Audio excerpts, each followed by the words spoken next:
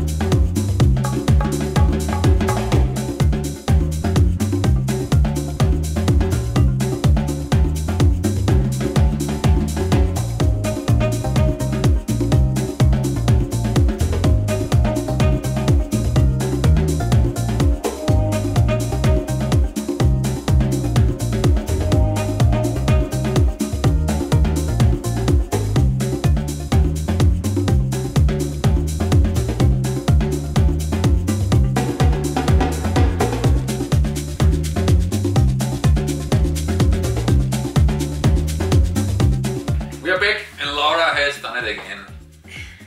Yeah, you did. I did. I'm, I'm just here to fill out the frame. That's not true. All right, what we got here now? was it was a team effort. So, um, just to recap, we printed the um, I can't think of the English word. Chain, no, not the chain. What is it again? The clip for a dummy. Can't remember what the real English word is. Sorry, this is gone. Then we we did a dummy without the actual sucking bit on it, and we did a baby brush. So, We started with a baby brush, didn't we? yeah, Yeah. The wood bit turned out quite cool actually. We did Yeah. just the wood one. we just did the wood one. We actually forgot to put the sticker off. And First then, try. and then did it, but it came out quite nice. And then Yeah. We tried it with the bristles as well, but they're, they're just a bit too fine for printing. Yeah. So we didn't really carry it on with that one. No. Then we did the what was next? The chain thing. I think it was the chain. Yeah. So we did um, one black one and one in blue well. And they came out really nicely actually. They just weren't very defined. So I went over them with with a pen um, to just give it a bit more definition and I think it looks much better now. You can really see what it is rather than before it was a little bit, a bit confusing. Yeah, and this one we used the Japanese paper. Yeah, It's very thin and kind of Much- fragile as well. much easier to print with though. Yeah. Yeah, it's much more flexible. So Much more flexible. Yeah, that's a good one. yeah, the the fibers are in such a way that you can really get into the contours of whatever it is that you're mm. printing much easier. Yeah. It's a very nice paper to print with. Just very thin, so whatever you have on the front side often comes around the back side, but it's not such a, a bad thing. And then we chopped off the second bit of the dummy. Don't show it to your kids. And then we printed that a few times as well. We started with a black one Yeah. on Smudgy one. normal paper, Do away. That which came very out. nice. It came out nicely. Um, And then we did some colors. yeah, we did some black ones and some in magenta. Blue, Uh, blue ones, blue and magenta. Also on Japanese paper. This one is really nice. Yeah, we tried that out on Japanese paper as well. It came out much. And um, yeah, I think what we'd like to do is, is I'd like to turn the dummy ones into a card somehow. And then this one maybe also. I have to have a play, I have to have a think. And um, maybe our next video will be me making cards out of these two. Yep, yep. But this one maybe just in the frame with a like a quote. Yeah, would be nice. Because they're quite, nice. quite big for a, a card, really. Yeah. We'll see, we'll do something with them. You'll find it out if you stay still. If you subscribe, you will find out at some point. Yeah, sure.